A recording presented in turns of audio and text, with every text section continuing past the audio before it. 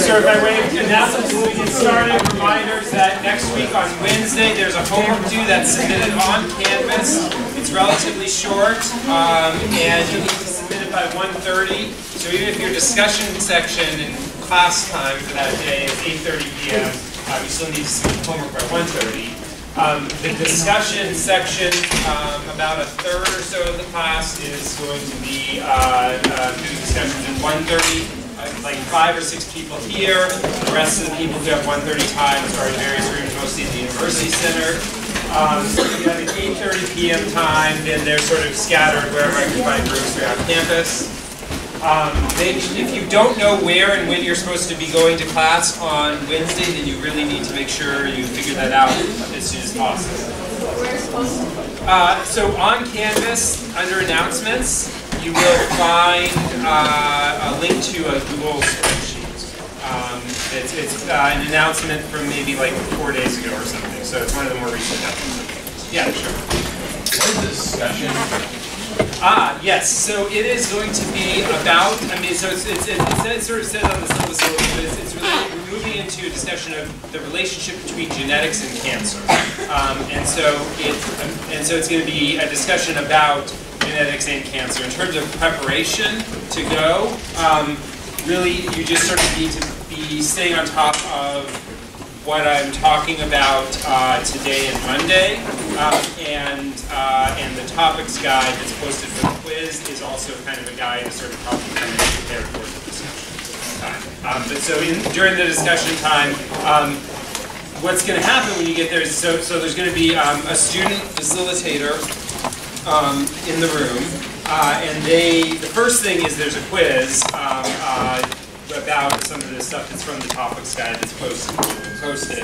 After you finish with the quiz, which should take about five or six minutes, then you'll move into a discussion time where um, they're going to kind of review some of the concepts from this unit with everybody um, and then discuss some sort of extensions on those concepts um, and, uh, and give you an opportunity to, um, to work through some challenge questions. Um, and um, so the discussion leaders will be um, uh, telling me sort of like what was discussed in the discussion section.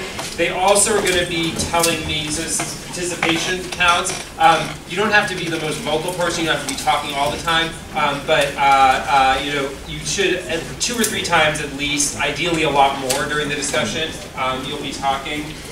The goal or sort of the ideal for the discussion sections is that the facilitators actually talk as little as possible. They'll sort of pose questions, and then you'll work through them together, and if you get stuck, they'll help you. Um, but it's really, the, the, the whole idea here is to give you an opportunity to work in a small group with some help on some challenge problems associated with the topics that we're currently going over. Does that make sense? Questions about any of that? Okay, um, and so yeah, there's a quiz at the start of the discussion. Look at the topics guide, so, so be ready for that. Um, okay, so uh, the, the, I wanted to, to kind of take some time today, um, uh, probably most of the class period today, to um, review some of the things, some of the, the core concepts that um, I introduced on Monday. Um, and, uh, and especially uh, there were a couple questions on the quiz um, that it seemed like people struggled with a little bit, and I wanted to make sure that um, people have sort of a firm foundation of this. Because uh, really this is like kind of the central topic for this unit. Um, before we get into the, sorry, there's a lot of talking. Are there questions that people, people have questions about? I hear a lot of voices. So yeah, just raise your hand if you have a question. I'm happy to, to, to help you. Um, but uh, yeah, so so but uh, as we move into the cancer stuff, um, I want to make sure everyone has a firm foundation on the genetics aspect before we start moving into cancer and the genetics of cancer. Um, and so uh, and so the, the, the first is um, this sort of Mendelian idea of dominant and recessive from the perspective of an organism. Um, and this is these, you know, capital A, little a genes and Punnett squares and um, one copy of the dominant allele means that you express the trait. Um, uh, two copies of the recessive allele means you don't express the dominant trait, and you instead express a sort of default recessive trait. Um, if you have one or two copies of the dominant allele, it doesn't matter. Um, there are cases that we talked about already. There's sort of one example that we gave with, um, uh, with uh, um, uh, the flower colors, some of the different flower colors, where it, uh, it matters whether you're heterozygous or homozygous for the dominant allele. Um, the, the heterozygotes have sort of the intermediate color. Um, and that has to do with, on a sort of cellular level, um, if one copy of the gene is sufficient to saturate your cells with red pigment, then two copies of the gene, you're not getting any more red. Um, or if one copy of the gene is sufficient to metabolize all the glucose you need to metabolize, then an extra copy isn't going to, to really affect things so much, um, uh, an extra functional copy. Um, and in that sense, um, being homozygous for the dominant can be, in a sense, sort of protection against loss. That's one of the advantages of being diploid um, is that if there's some critical protein that my cells need to make, um, and some random X-ray somewhere or something hits um, uh, hits uh, base uh, base in my DNA, creates a nonsense mutation that stops uh, the the protein production off of mRNAs that are made, um, so that I'm no longer making phosphofructokinase, which is this critical enzyme for glycolysis. Then um, I still can do glycolysis because the other copy that I got from my dad is fine, even though the copy that I got from my mom got accidentally hit by an X-ray and, and, and, uh, and. So, um, so that and that's sort of on the on the organism level, the way we sort of think about dominant and recessive. Um, one thing that I did want to mention as well, um, which uh, was something that people there, there's one question on the quiz. I think I can reproduce it here. It was like this. Um, for some trait, I said, okay, so is this trait that we're paying attention to? Um, there were uh, X-linked dominant, autosomal dominant, uh, uh, X-linked recessive, autosomal recessive. Um, uh, you can, whether you not marked X, uh, well, so, so in this case, X-linked, X-linked dominant is basically always wrong, and in this case, it's sort of especially wrong, so you did lose points if you marked X-linked dominant. Um, there are, so, it, it, can be very hard in a short pedigree um, to distinguish whether something's X-linked dominant or um, uh, or autosomal dominant, which is why we're sort of not doing X-linked dominant really in this class. Um, but um, first of all, just sort of like at a quick glance, to me this pedigree is obviously recessive. And the reason this pedigree is obviously recessive is that the only way, so we try and imagine if it were dominant, then this person has to have at least one big A. Um, and so they had to have gotten it from somewhere. And so as long as we've got the parentage right here, um, they, mom didn't have it, dad didn't have the big A, so there's no way they could have gotten this big A. Um, and so dominant just doesn't work. Whether it's X-linked or autosomal, there's no way that either parent could have passed that on to the child. Um, the, the, the linkage, the X-link versus autosomal, gets a little bit more subtle. Um, but the critical thing to keep in mind here is that men have, males have only one X. So they have an X and a Y. And so on that X, we sometimes, when we're, when we're keeping track of a, uh, the chromosome that a gene's on, we'll have the chromosome and then a little script like this for, for the gene.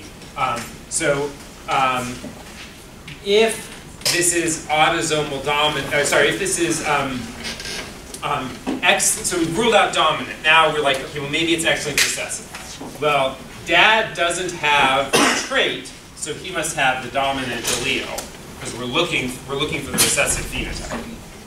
Um, and mom doesn't have the trait, so she needs at least one. And if it's in the family at all, the only place it could be hiding is on mom's other X chromosome. Um, and in that case, it would be possible for her son, for the son to get it. But um, the daughter gets, gets dad's only X and one or the other of mom's X's. And so for sure, she's getting this from dad, and then she's getting something, we're not sure which, from mom. But if it's recessive, then she's not going to be expressing the trait. So this doesn't work. We sort of run into a place where we've reached a contradiction, where um, if we say that the, the, the, trait is exhibited only in, with recessive alleles, then, um, then we find that we can't get away for that female to have the trait. Um, one way that this is sometimes described is, so, so for example, here, um, so um, if we had a different pedigree,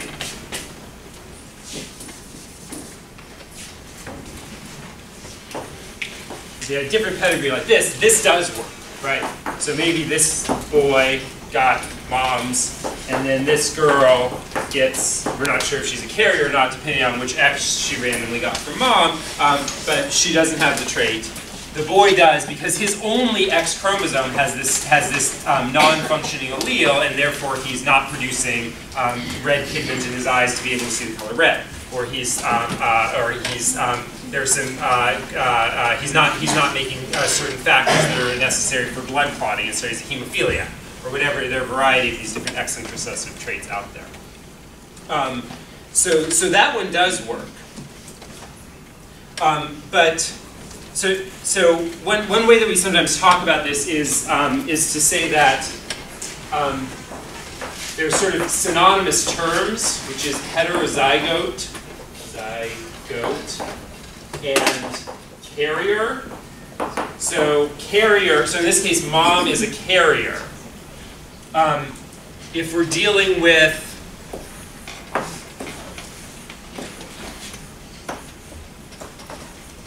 back over here, the only possibility is that this is an um, uh, this is an autosomal chromosome.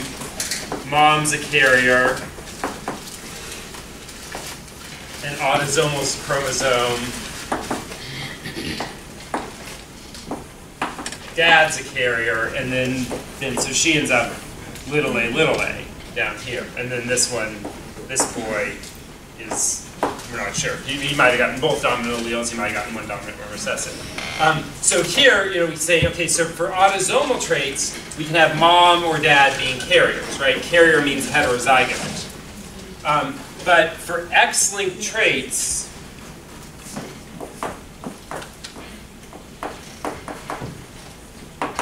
there are no such things as, ma as males who are carriers because the carrier means heterozygote, and males only have one X chromosome. There's exceptions like Klinefelter syndrome and stuff, um, uh, which I'd be happy to talk about with people if, you, you're curious. Um, but but um, for you know sort of with, with the sort of standard common two X's for a female, X and Y for a male, there's no such thing as a carrier male um, for an X-linked trait. Is another way to sort of think about this issue. Yeah. So what questions do people have about that?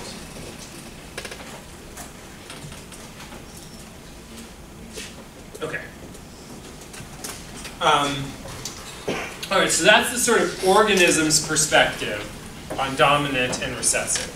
There's also, I sort of mentioned this a second ago in, in last class period, but there's also um, a perspective on dominant and recessive that's um, something at the sort of cellu cellular um, and, and biochemical level.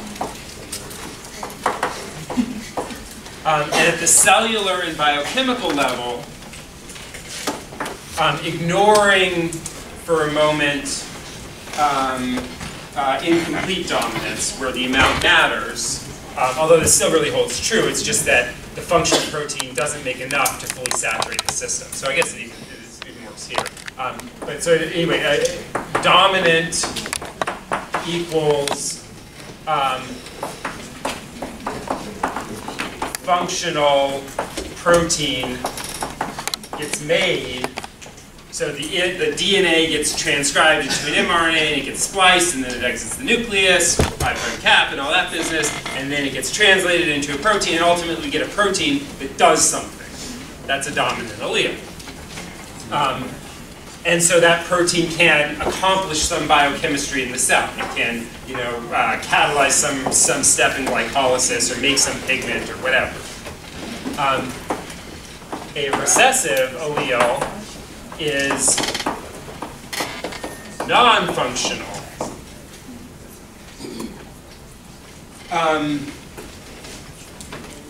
so, yeah, so that, that, that's sort of the cell's perspective, and it's very it's very much related to the organism's perspective because, um, for example, you know, if I want to be able to have my blood clot appropriately, um, then I need to have a functioning version of the gene that codes for proteins that helps my blood clot.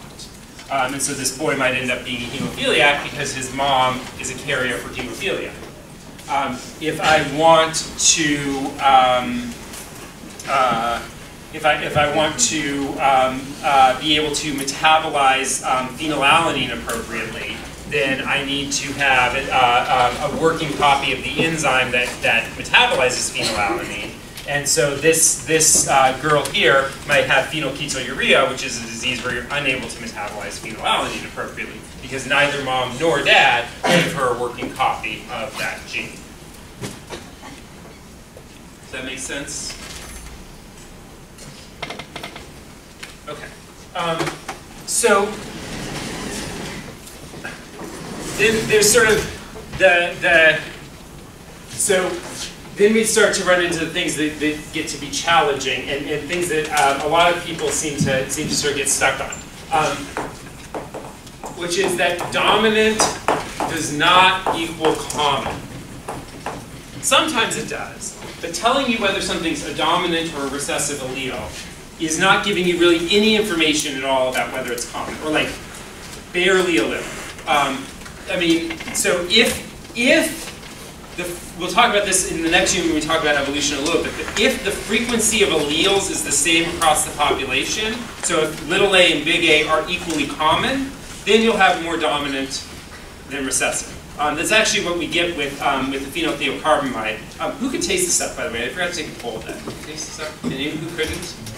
Yeah. So so yeah, pretty pretty. So about 75% of the class could taste it. About 25 could. It turns out that um, generally speaking in the population, the allele for being able to taste is as common as the, uh, as the allele for not being able to taste. And since you can, there's sort of three ways you can be a taster, which is if you got um, uh, work, uh, uh, dominant alleles from both parents, just a dominant from mom, or just a dominant from dad, then uh, in one way to be a non-taster, which is um, which is recessive alleles from both parents, three-fourths of the population ends up being uh, tasters. Um, because there are exceptions to that, which we might get into a little bit with the evolution. If people started, you know, only dating people who could taste or not the same as them, then we would start to get segregation about that.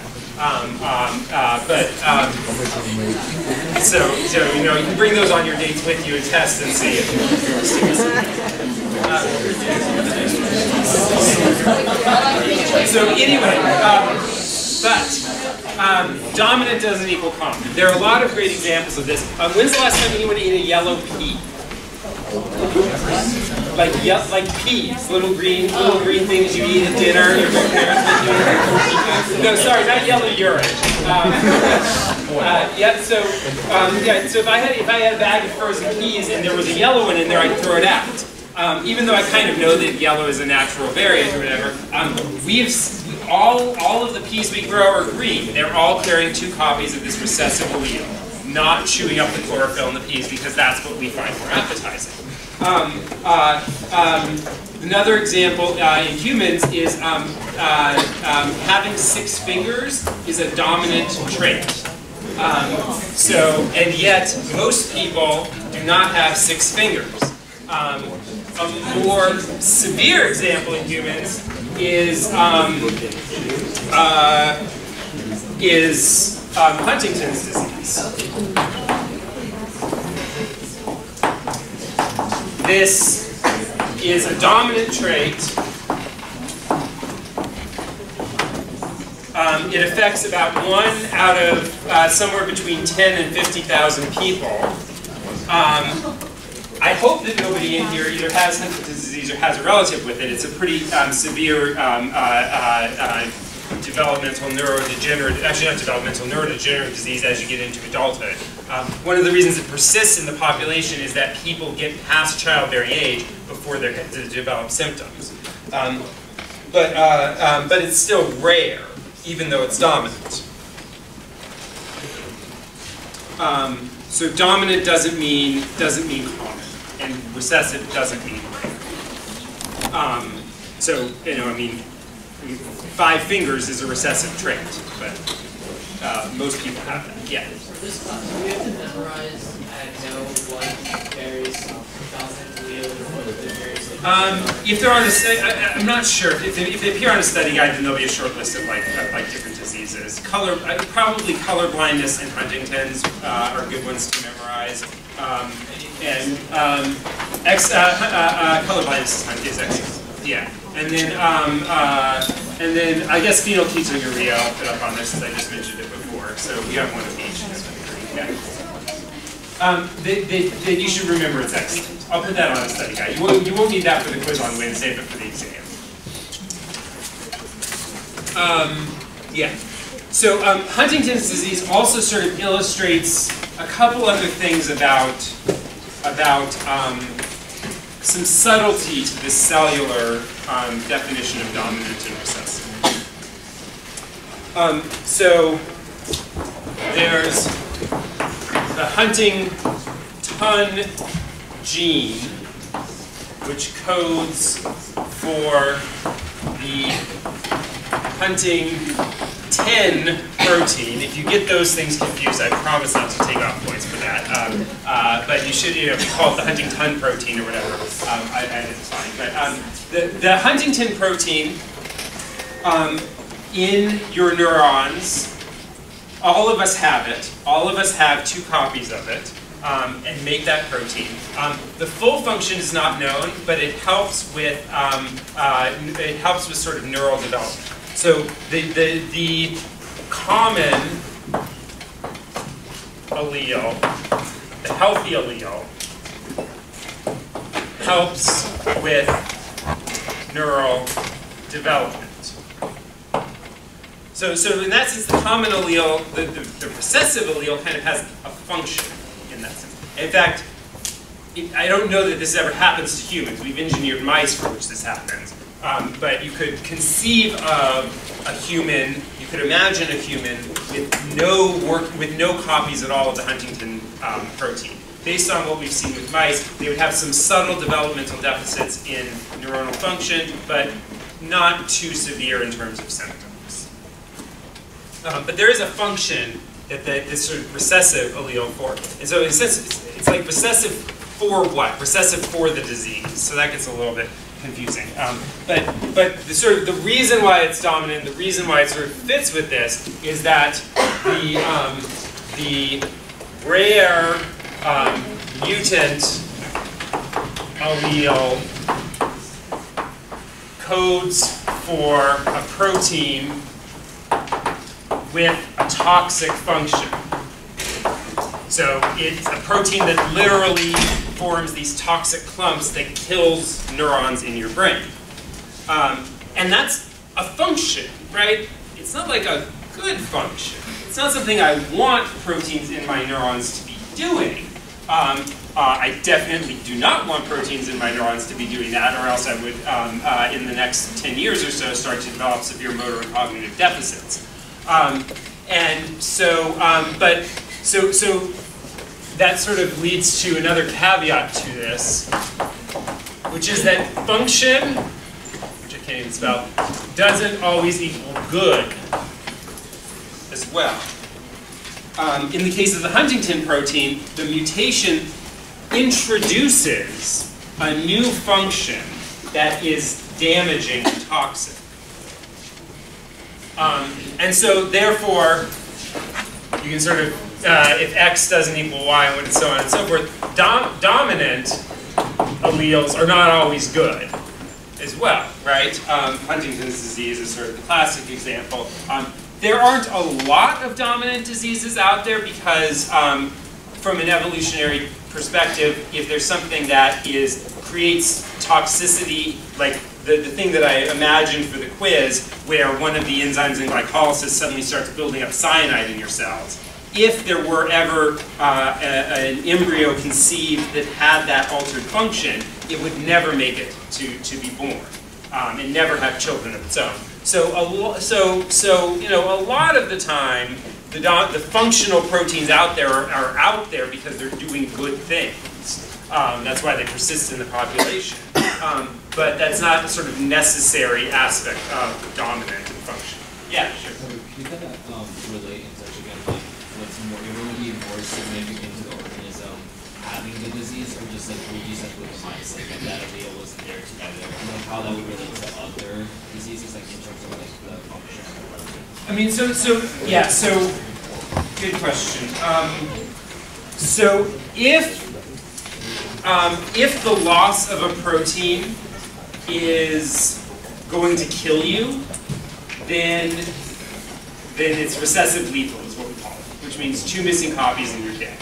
Um, uh, and you know, the enzymes for glycolysis, uh, a lot of the sort of like core metabolic pathways that we talk about, those are all necessary things for cells to stay alive. And so, um, uh, and so, um, it turns out that for the, the huntingtin protein happens to be a protein that has some use, but its use is sort of good enough to keep it around evolutionarily, but kind of by bad luck, it's got this added feature that if it um, gets mutated in a particular way, then it becomes toxic. And the toxicity, for, so, so if a gene is not like necessary for survival, but just sort of helps along, um, then, um, then it's hard to predict um, what's going to happen with that. Um, I, I would say, I guess, I mean, we'll talk, when we get into cancer, which is kind of what's coming up, uh, uh, hopefully we'll start talking about that today, get into that uh, next time.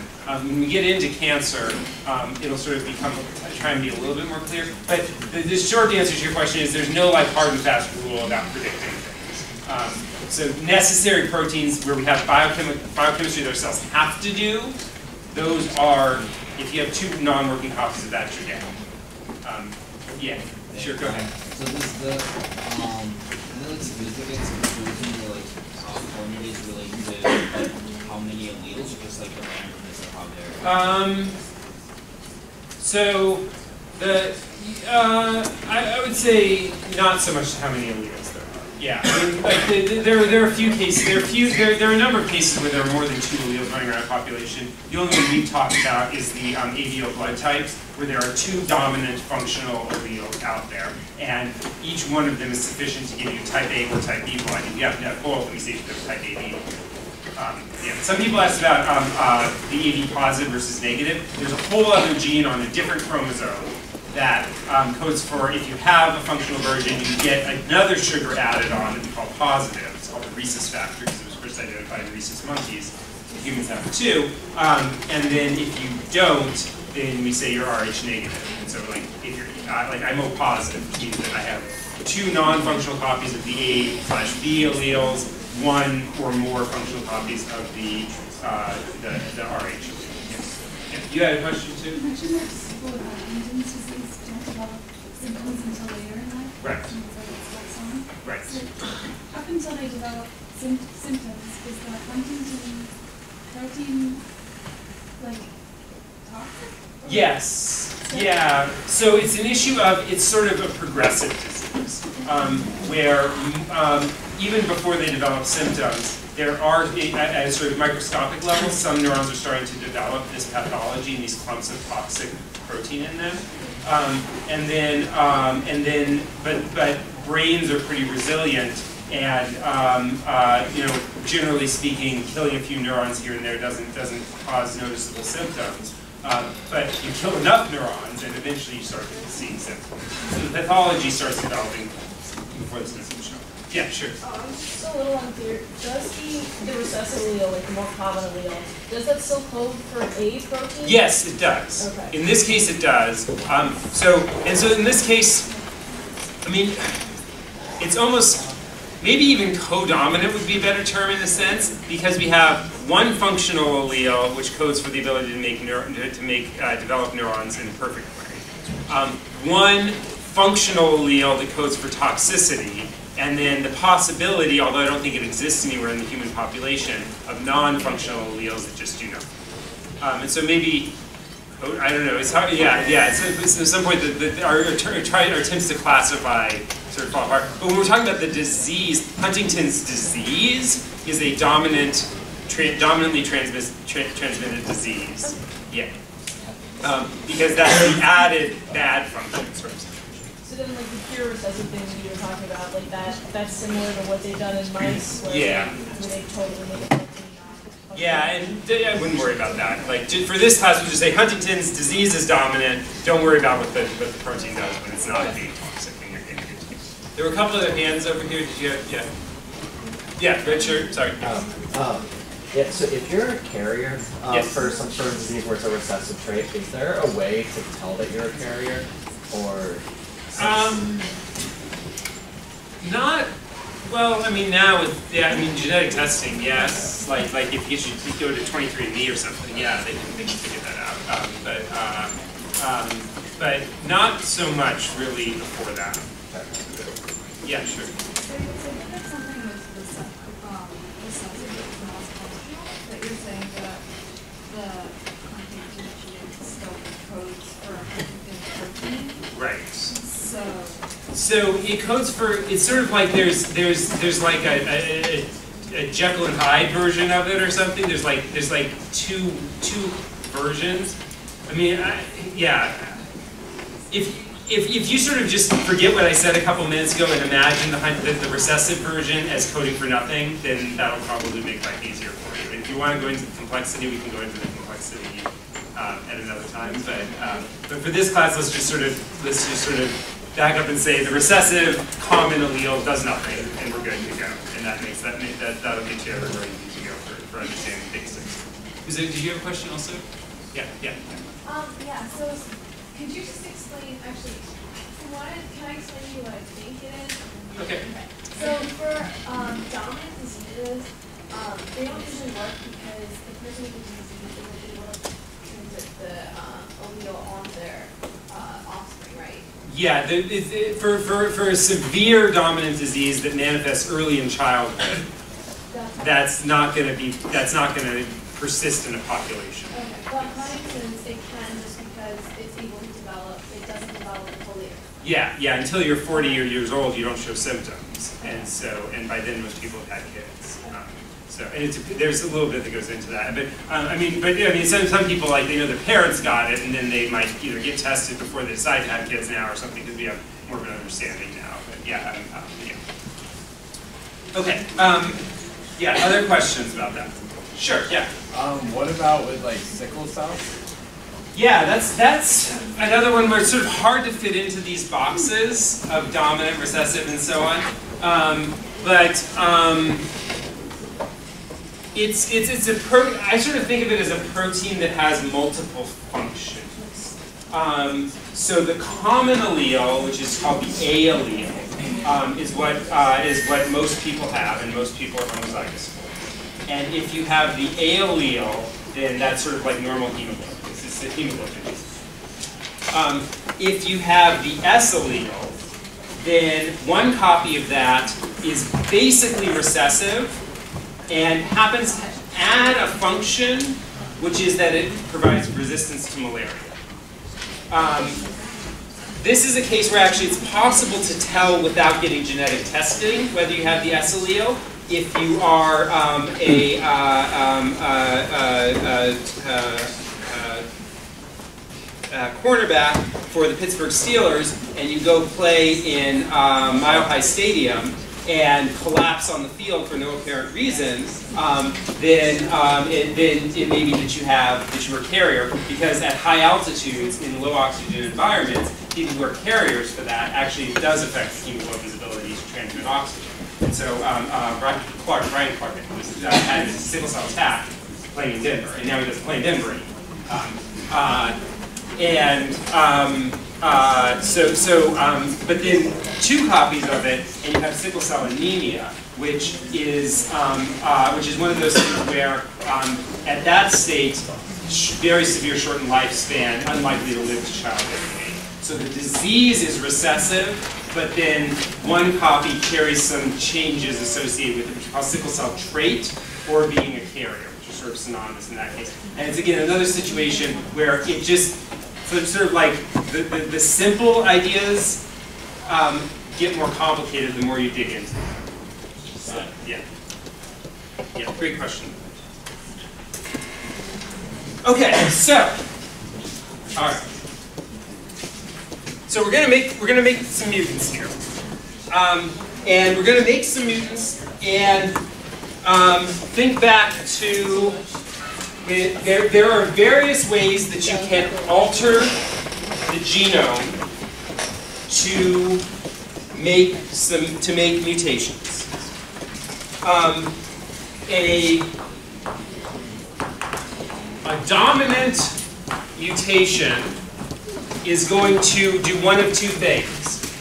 Either increase protein amount, I guess maybe three things. Increase protein amount, um, make the protein expressed in, um, in the wrong cells, um, or, or maybe not know, cells that it didn't, or um, create some new function. That function might be good, that function might be making cyanide. Um, so that's our dominant mutation. Um, our recessive mutation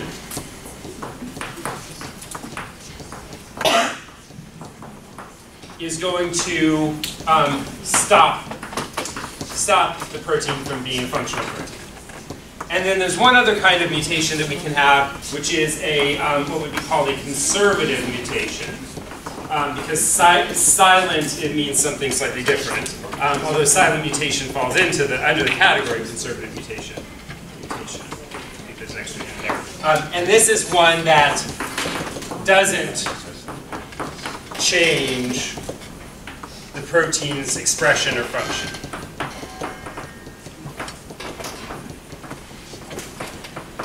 When you say stop protein, does that mean like a early on? That's the question. Yeah, so, so, so stop protein function. So one example is an early stop protein would do that. Um, so thinking back, we talked, last unit, um, we talked about, uh, or actually, so sorry, one other thing to add to this, or sort of remind you from last unit. This is a stretch of DNA. You've got a gene on that DNA. Then you have your Bless you. Quite the sneeze. you have your promoter, promoter proximal element, enhancers, and so on. All of this. So we can make changes in the gene, silent mutations, frame shift mutations, missense mutations, and nonsense mutations. If you can't remember, the missense is when you substitute one amino acid for another. The nonsense is when you put in an early stop. Um, we can also potentially alter, may, maybe mutate the DNA not in the gene itself, but in some of these regulatory sequences.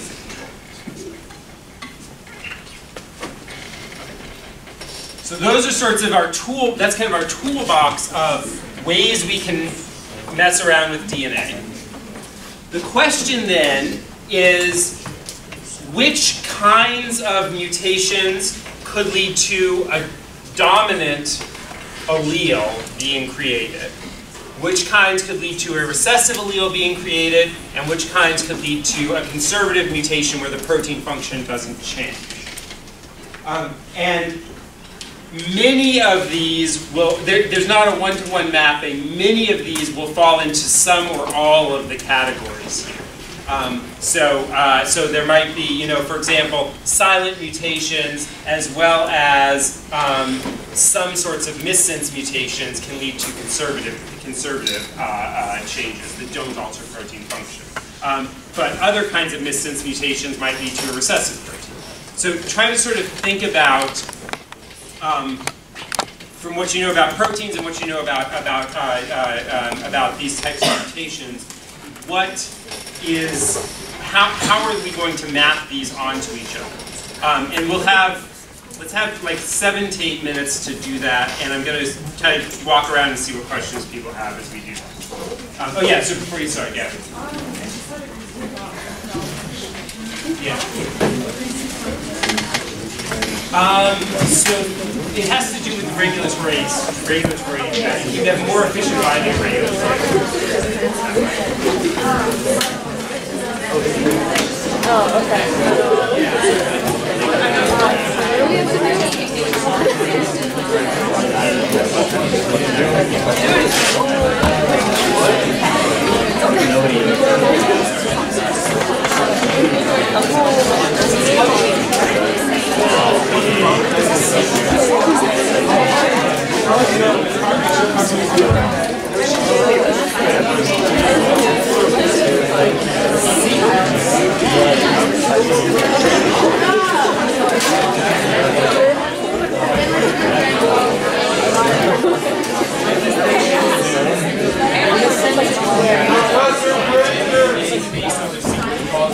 What was the question? Like, no one. Match.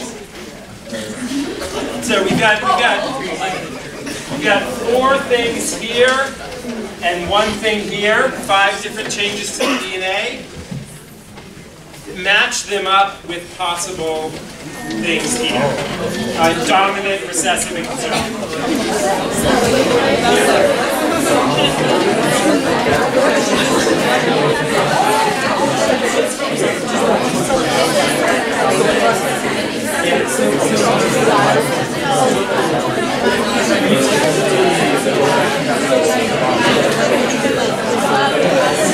Thank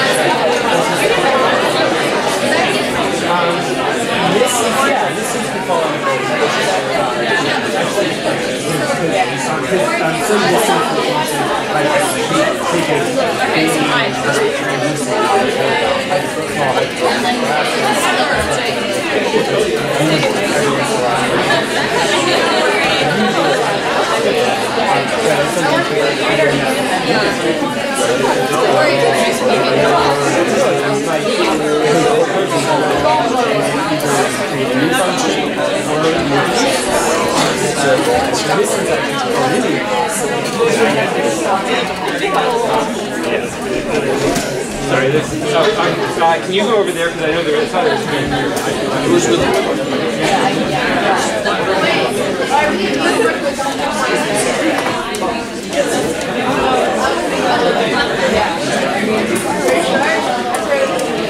Please tell me you're saying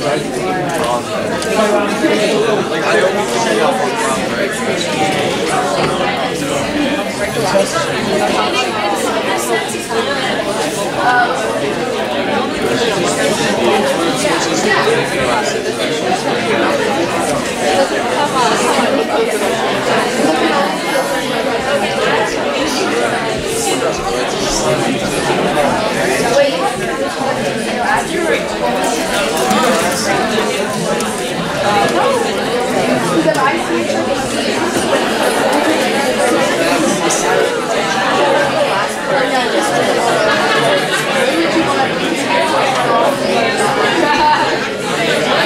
you.